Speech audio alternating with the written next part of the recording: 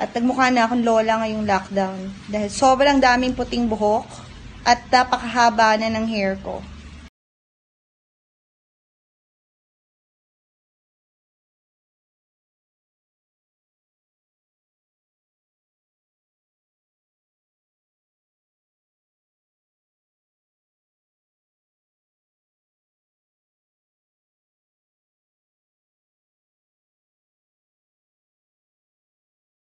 Hi, you beauties. This is Donna Santos once again, your host, and welcome back to another video.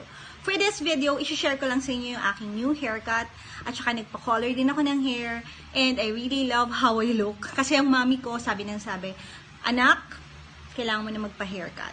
You look old with that long hair.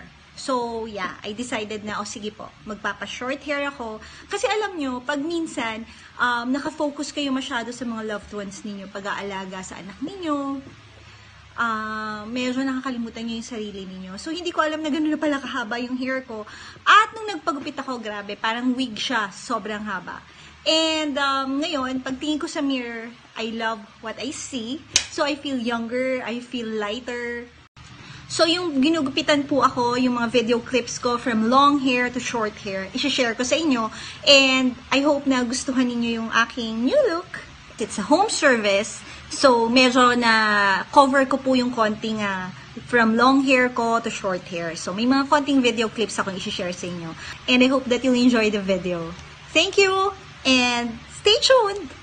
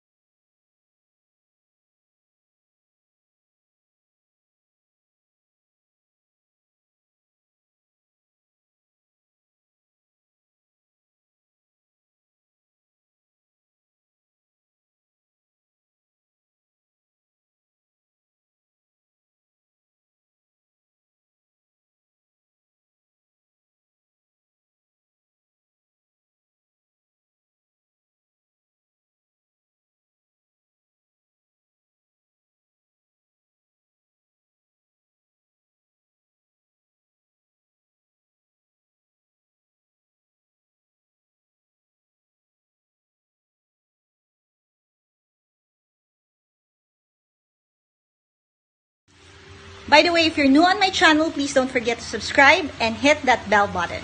Thank you.